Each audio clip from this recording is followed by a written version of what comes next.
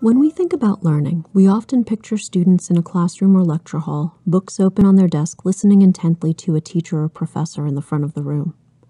But in psychology, learning means something else. To psychologists, learning is a long term change in behavior that's based on experience. Two of the main types of learning are called classical conditioning and operant or instrumental conditioning.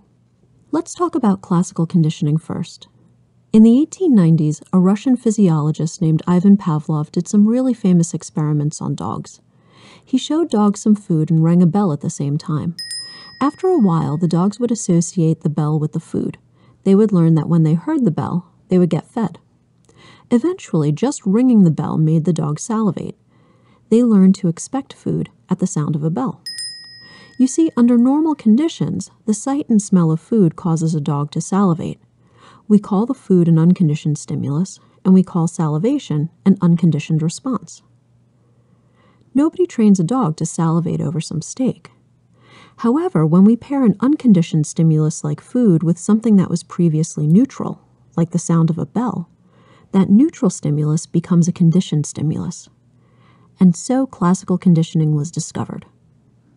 We see how this works with animals, but how does it work with humans? In exactly the same way. Let's say that one day you go to the doctor to get a shot. She says, Don't worry, this won't hurt a bit, and then gives you the most painful shot you've ever had. A few weeks later, you go to the dentist for a checkup. He starts to put a mirror in your mouth to examine your teeth, and he says, Don't worry, this won't hurt a bit. Even though you know the mirror won't hurt, you jump out of the chair and run screaming from the room. When you went to get a shot, the words, This won't hurt a bit, became a conditioned stimulus when they were paired with the pain of the shot, the unconditioned stimulus, which was followed by your conditioned response of getting the heck out of there. Classical conditioning in action. Operant conditioning explains how consequences lead to changes in voluntary behavior. So, how does operant conditioning work? There are two main components in operant conditioning reinforcement and punishment. Reinforcers make it more likely that you'll do something again, while punishers make it less likely. Reinforcement and punishment can be positive or negative, but this doesn't mean good and bad. Positive means the addition of a stimulus, like getting dessert after you finish your veggies, and negative means the removal of a stimulus, like getting a night of no homework because you did well on an exam. Let's look at an example of operant conditioning. After eating dinner with your family, you clear the table and wash the dishes. When you're done, your mom gives you a big hug and says, Thank you for helping me. In this situation, your mom's response is positive reinforcement if it makes you more likely to repeat the operant response, which is to clear the table and wash the dishes. Operant conditioning is everywhere in our daily lives. There aren't many things we do that haven't been influenced at some point by operant conditioning. The two uh, pigeons are at either end of a small ping pong table. One pigeon uh, pecks the ball as it comes toward him and knocks it toward the other pigeon. Other pigeon pecks the ball back across the table. If it goes past one pigeon, the other pigeon can eat, and if it goes the other way, the other pigeon eats. So that there is a real, it's a real game. The uh, pigeon uh, is reinforced for a cross-court shot if that is what gets the ball past his opponent. One group of scientists showed the power of operant conditioning by teaching pigeons to be art connoisseurs. Using food as a positive reinforcer, scientists have taught pigeons to select paintings by Monet over those by Picasso. When showed works of other artists, scientists observed stimulus generalization as the pigeons chose the Impressionists over the Cubists. Maybe next they'll condition the pigeons to paint their own masterpieces. A group of scientists placed five monkeys in a cage and in the middle a ladder with bananas on top. Every time a monkey went up the ladder, the scientists soaked the rest of the monkeys with cold water.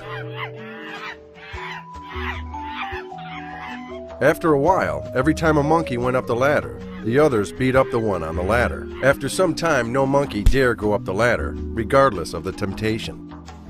Scientists then decided to substitute one of the monkeys.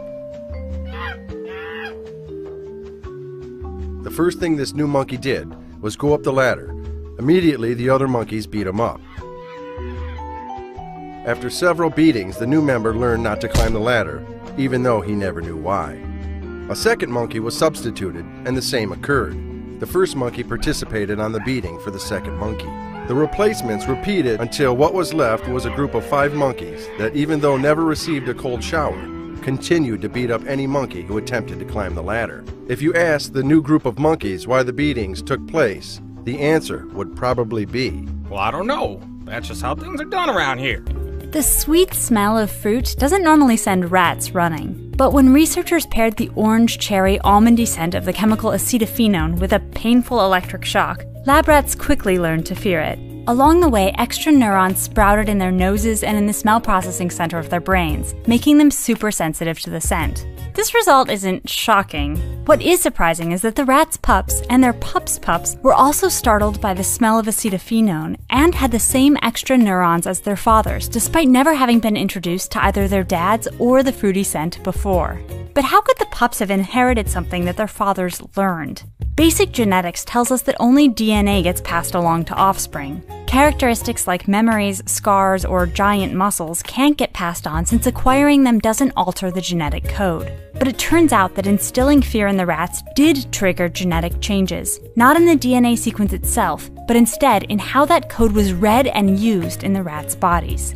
In every cell, biological machinery constantly translates DNA into the proteins needed to carry out vital processes. Chemical switches attached to the DNA turn genes on or off or up and down, telling the machinery which proteins to produce and in what quantities. These switches, called epigenetic tags, are why a kidney cell looks and acts differently than a skin or nerve cell, even though all three cells have identical DNA. But the switches in any one cell aren't set in stone. Teaching those rats to fear the fruity smell switched one of their smell sensing genes into overdrive. Researchers don't know all the places in the rats' bodies where this switch got flipped, but they know it happened in one key set of cells the rat's sperm cells, which would one day pass along the tweaked genetic material, making the next generation of rats super sensitive to acetophenone. Rodents aren't the only creatures demonstrating this weird type of inheritance. While we have been able to connect specific epigenetic changes to health effects in mice, we're a long way off from being able to make those connections in humans.